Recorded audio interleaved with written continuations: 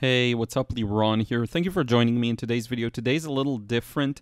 Uh, I want to share with you three portrait painting processes, and the reason is I have been really uh, honing in on where I'm weak in my watercolor skills, quite frankly. And the subject at which I'm the weakest is probably portraits, and the technique I'm weakest at is smooth transitions and getting gradual changes and really controlling the finer aspects of watercolor when it comes to larger shapes as opposed to almost big scenes with multiple elements where you can kind of get away with working in smaller sections past a certain point. Um, so I want to work on my weaknesses, and one of the main things that I'm working on in these three portraits is my ability to use wetter washes. Now that doesn't take you know being a genius. Um, all it takes is actually doing it. And what I notice you'll see is a gradual progression where this is the first one. And as light as you see this wash, this is not light enough. I should start for this specific experiment lighter, um, which is why I'm showing you three processes. The first one was a failure in the simplest uh, in the simplest meaning of the word, that is just I did not follow the actual plan I wanted to follow. This is way too strong.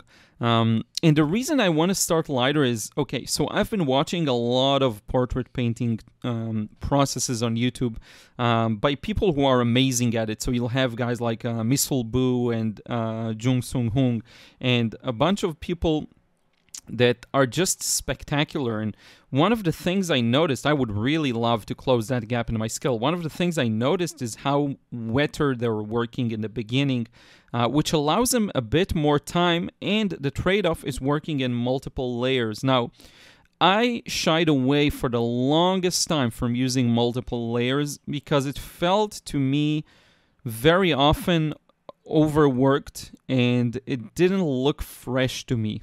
But the thing was, the people I saw using that, that method, it was their way of working that led to non fresh results. It wasn't the technique of using multiple layers.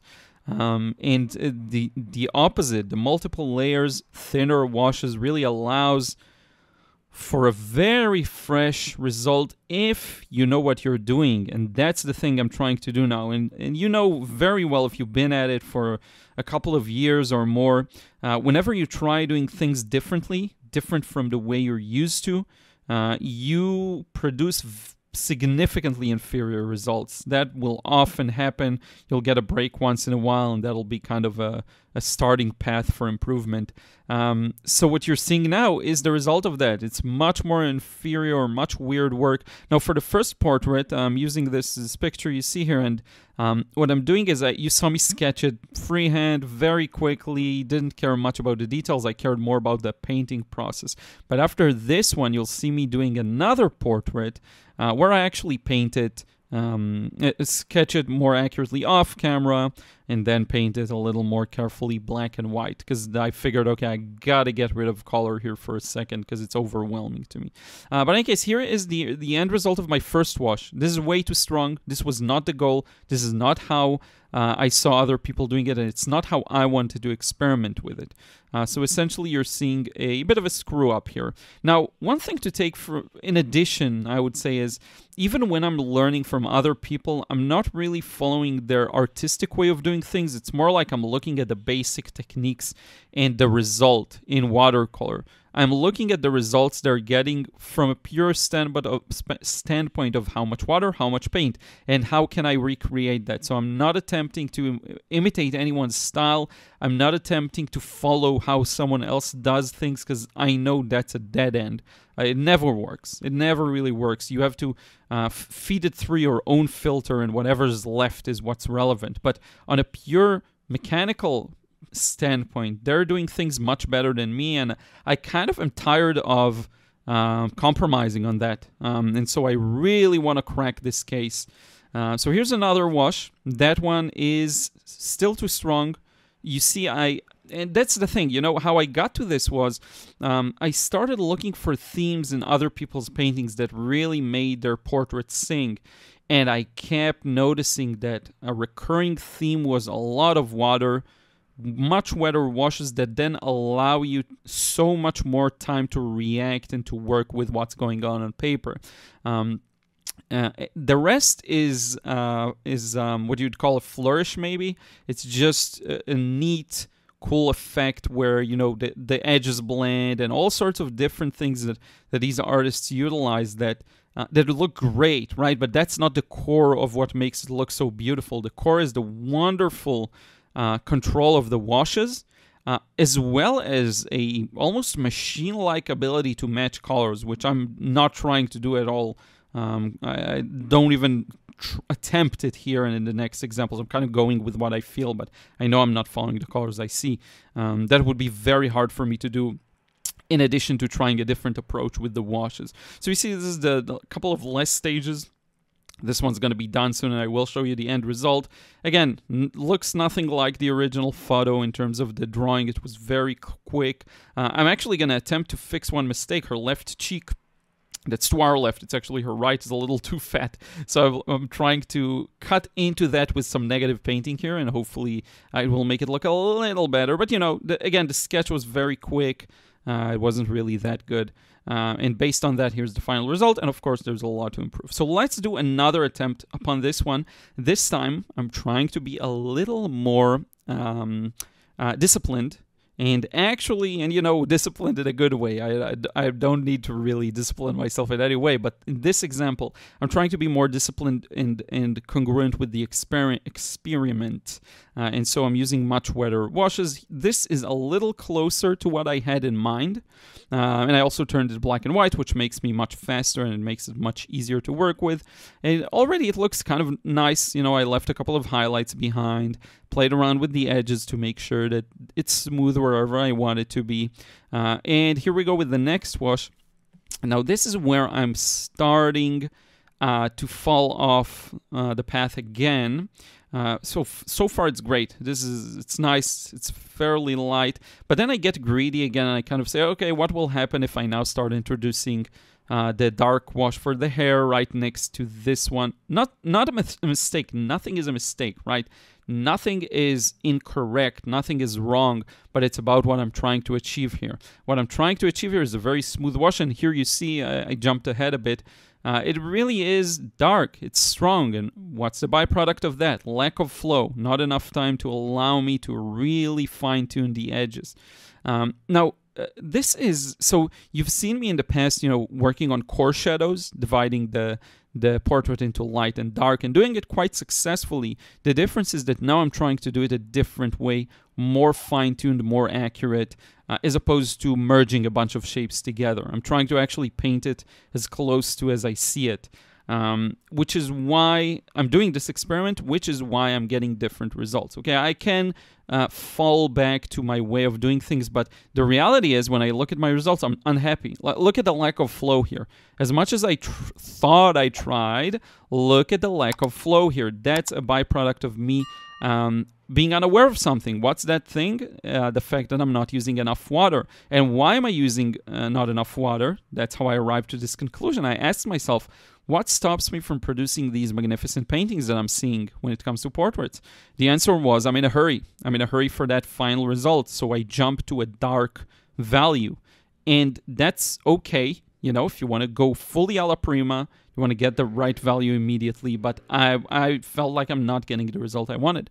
Um, and so, yeah, you see now this one is built a little more slowly. So there is a bit of improvement compared to the last one. But notice once again how dark I'm going here how um, how again a bit of a um, hunger for getting that end result uh, that kind of makes me go very dark there where I would have gone much I would have done much better with going with more lighter washes in a way. Um, that will enable me to look at the nuances of the shadows with enough time, right? To make the shadows next to the nose a little darker, which now I have to do really fast. So you see I'm doing wet and wet here. I'm going to darken some of the areas that are just gently darker under the uh, the eyebrow, under the eyebrow, around the eye, the pupil, the next to the nose, right? It's these things that I would love to get with a bit more of a nuanced feel to them, uh, with a little more of a finesse uh, to them and that I kind of uh, missed because I have to work so fast here, so fast because uh, my wash is just not wet enough. And I kept bouncing back and forth between these other artists and my videos, and that was the number one thing that popped to me was I am just not allowing myself enough time. Um, again, it's all a matter of choice. You want to go more direct, more alla prima, more bold, that's great. But I felt like I'm I stopped getting the results I wanted with that approach. Uh, so this is what you see me here. Now, notice there's still a little bit of lack of flow, and the bottom part of this is too light. So what I'm going to do is one final wash. In a second, you'll see I'm lifting. Look at this. This is actually a nice highlight to lift. Um, and then shadow next to it. So what I'm actually going to do here is do one last wash. It's not meant to be very dark. It's meant to just be a thin unified watch. You'll see that in a second once I finish with uh, her right eye. That's to our left. And look at how much context it provides, and that's really nice. Same uh, with the adding a background. That's going to add a lot of um, um, a lot of context to the to the lights. Uh, but in any case, yeah, there are a couple of details here, the eyebrow, um, but but it still feels a little uneven, and the bottom is lacking. The best solution I found, and I don't know why my camera went crazy here, uh, a bit of background. The best solution I found was let's do one last wash. Uh, that covers the whole thing up. By the way, I messed up where the hair begins. It should begin closer to the ear, so it looks like she has a tiny neck. Sorry about that. You'll see that in a second. Uh, but in any case, this is a thin wash.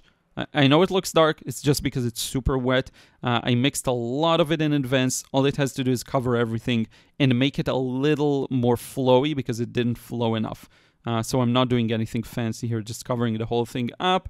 And in a second or two, you will get to see the final result. I used this opportunity to darken some areas that needed darkening, of course, but uh, yeah, you'll see the end result actually looks much better in the scan than uh, on the video. Uh, but yeah, here it is.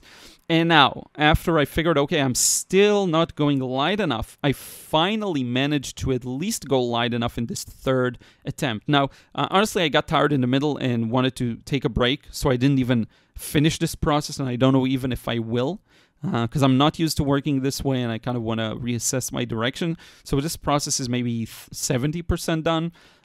and I run through most of it because I don't want this video to get too long. But um, started with the background, moved on to the hair, uh, and from the hair I'm going to move to the face.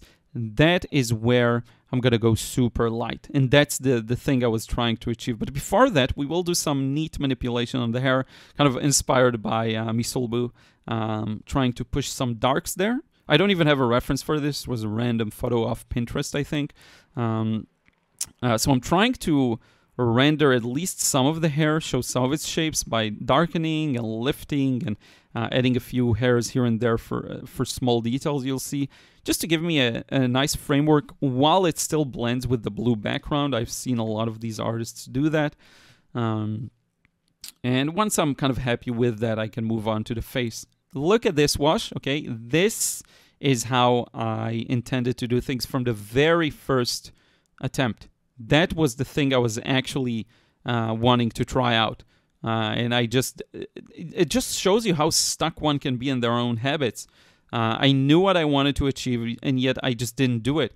Uh, even some of the colors here, I lost a lot of the colorfulness I wanted. I went straight to the muted colors, which is fine. You know, I'm still, uh, I'm thinking more in terms of uh, washes and values than colors. But you know, if anything, you know, if, if I use colors, then might as well use the correct colors, and I kind of lost that as well.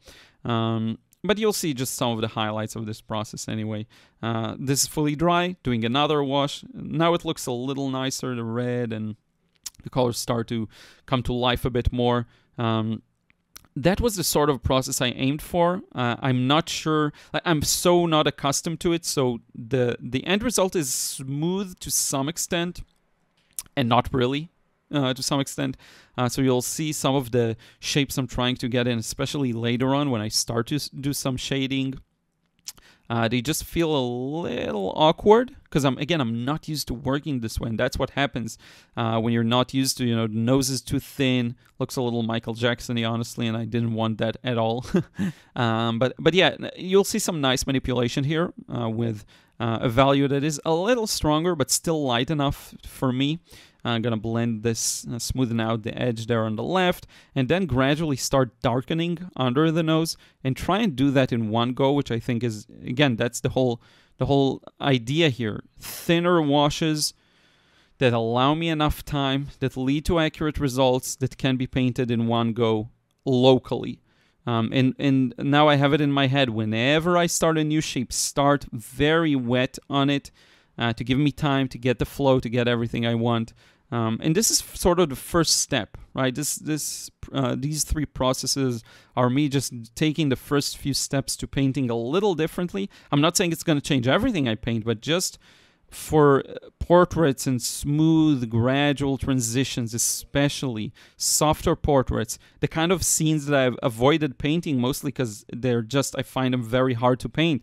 Um, I, I, just said enough of that. I'm not going to let that continue. Uh, I will start tackling these weird, um, almost. Um, abstract, smooth transitions that are a great challenge. Uh, I don't want to run away from them anymore. Um, I I don't even think my final goal is to be able to paint portraits like some of the artists uh, I mentioned. I think I want that skill set to be reincorporated into everything I'm doing. Uh, so not just the portraits, but you know the cars, the cityscapes, the landscapes, everything. It's it's relevant to everything really. Uh, and for some reason, with portraits in particular, it's so hard for me to summon that. Uh, it's a combination of patience, uh, habits, uh, technique. You know, a lot of small things that together just lead to you know the bottom line, not the result I want. Um, and I'm kind of uh, tired of being frustrated with that. Um, so, uh, and and that's because I was trying to do a lot of um, portraits over the last couple of days, and I was re uh, I re met this side that is still really uh, incomplete, and um, yeah, and I've painted some great portraits before, uh, and I don't know to explain exactly what's the difference, but th- there is a difference. There's a gap, a pure gap in technique, a pure gap in habits that I'm wishing to close up, which is why I did these three portraits, uh, which is why I did this video. And I hope um, you find it maybe useful or inspiring in some way. Uh, I do want to thank you for watching, and I do want to thank everyone who supports me over on Patreon. Really, really appreciate it. You allow me to uh, do this for a living, which is just incredible, and I'm grateful every single day. Uh, and with that, we'll wrap it up, and I will see you in the next video. So until then, take care.